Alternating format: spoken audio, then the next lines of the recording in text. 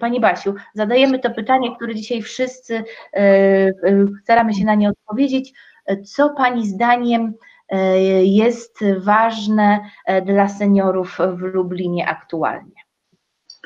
Wydaje mi się, że e, super sprawą dla seniorów są takie fundacje jak Fundacja Wolności, która zaproponowała nam program super e, tegorocznej edycji Sprawdzamy jak jest. I możemy wreszcie zobaczyć, jakie mamy organizacje e, rządowe, pozarządowe, które są skierowane dla osób 60. Plus. Bo dzięki tej organizacji, dzięki wiadomościom przekazanym nam, wiem, że jako senior, jak obywa, jako obywatelka, jakie mam prawa i z czego mogę korzystać i gdzie mogę się domagać przestrzegania moich y, praw. Myślę, że głosy seniorów i młodych mieszkańców miasta są bardzo ważne.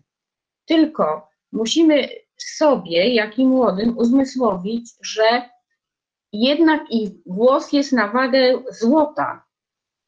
Jeżeli wszyscy przemówimy y, tym swoim głosem, wtedy władze miasta będą musiały nas dostrzec jako grupę senioralną i chociaż w części y, pomóc nam w zorganizowaniu przestrzeni dla seniorów, bo to nie jest aż takie trudne, tylko trochę dobrej woli, mniej tych barier architektonicznych, mniej tej biurokracji. I tak jak Wanda e, powiedziała, żeby ta Rada Seniorów, która jest ukryta, wreszcie wyszła do tych e, seniorów, pozwoliła się poznać i zaczęła współpracować. Bo ja nie wiem dlaczego ta Rada Seniorów, widząc, że istnieje taka Fundacja Wolności czy jakieś inne zrzeszenia, nie wychodzi do tych y, organizacji i nie chce z nimi rozmawiać. A rozmawiając z nimi, będzie rozmawiać z nami. Musimy y, my, jako seniorzy, y, być bardziej otwarci i życzliwi dla młodych. Bo tu podnosiła Lucynka sprawę, czy Hanka, o tej sąsiedzkiej pomocy. Ale nie oszukujmy się, to się wypracowuje latami żeby mieć dobrego sąsiada, dobrą sąsiadkę, to nie jest o tako na żądanie. Musimy swoją postawą po prostu pokazać, że jesteśmy przyjaźni i też pomożemy i młodemu, i starszej osobie, i wtedy możemy oczekiwać, że pomoże ktoś nam. I to jest bardzo ważne, ta otwartość, że nie, że jestem starsza, to mnie się wszystko należy. Nieprawda. Wszystko musi być wyważone. Młodzi są też bardzo ważni, bo bez tych młodych to my nie damy rady.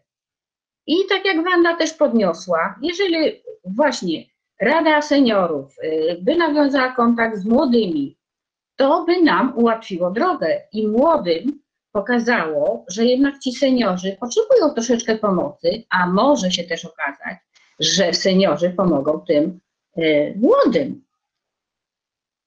I to jest chyba y, takie podsumowanie, a to wszystko wyszło teraz w dobie pandemii, że jeżeli ktoś y, był ludzki dla sąsiada, że tak powiem, to i sąsiad teraz jest ludzki dla niego. I pomoże mu w zakupach, i pomoże mu, jak mu się sprzęt popsuje, i przyjdzie, pogada.